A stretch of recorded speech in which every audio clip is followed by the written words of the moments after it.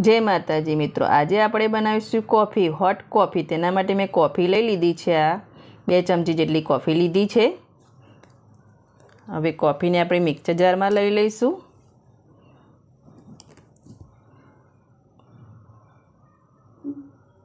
હવે ખાંડ લઈ લઈશું. બે ચમચી કોફી લીધી છે. તો આપણે એ પ્રમાણે એને ડબલ આપણે કોફી ખાંડ લેવાની છે.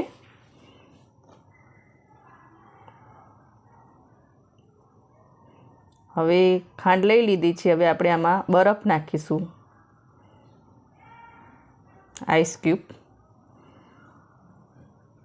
ત્રણથી ચાર ટુકડા આપણે આઈસ ક્યુબ નાખી દઈશું. એને અપડાઉન અપડાઉન અપ ડાઉન કરીને આપણે પીસવાનું છે.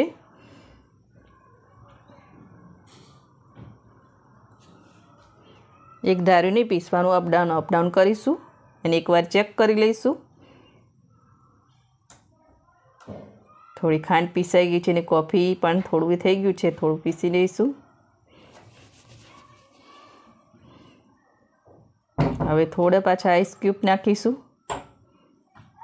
જેમ જરૂર લાગે એટલા આઈસ ક્યુબ નાખવાના, એક ધારાને નાખી દેવાના.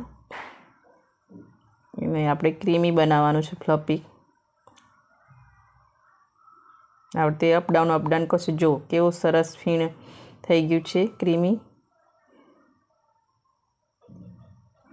હજુ એકવાર કર્યું હતું. જો, થઈ ગયું છે, સરસ.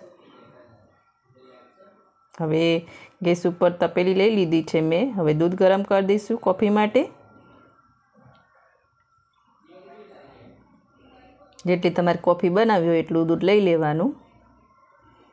દૂધને ગરમ કરી લઈશું.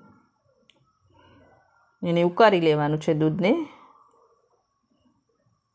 ઉભરો આવે ત્યાં સુધી રાખીશું.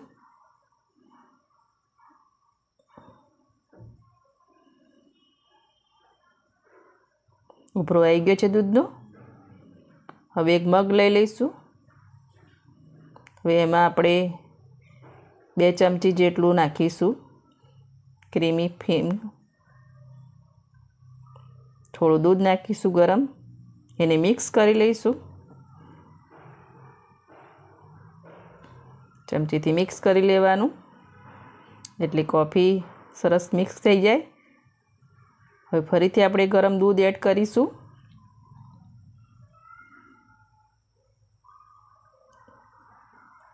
ફરીથી આપણે ક્રીમી નાખીશું. કોફીનું બનાવ્યું હતું ફીણવાળું તે. બેથી ત્રણ ચમચી જેટલું નાખીને આ રીતે ફેલાઈ દેવાનું.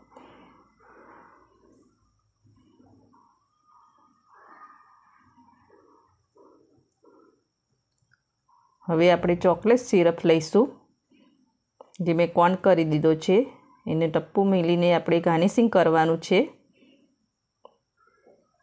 આવી રીતે એક ટપ્પુ મૂકીશું અને સર્કર બનાવીશું.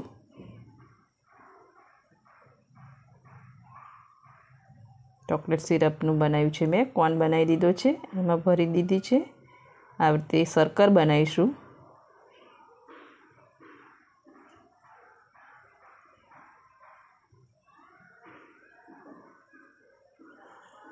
હવે તે ફરતું સર્કલ બનાવી દેવાનું. હવે એક સ્ટીક લઈશું, એને ચારે બાજુથી ખેંચી લઈશું. ફરી પાછું ચારે બાજુથી ખેંચી લઈશું, જ્યાં જગ્યા હોય ત્યાં. અને એક એક સાઈડ ઉપરની સાઈડ ખેંચી લઈશું. સરસ ફૂલ બનાવી દઈશું. જો, કેવું સરસ હોટ કોપીમાં ફૂલ બની ગયું છે. જો, તમને મારી હોટ કોફીની રેસીપી ગમતી હોય તો મારા વિડીયોને લાઈક કરજો સબસ્ક્રાઈબ કરજો અને બેલાઇકન જરૂરથી દબાવજો. હોટ કોપી બનીને રેડી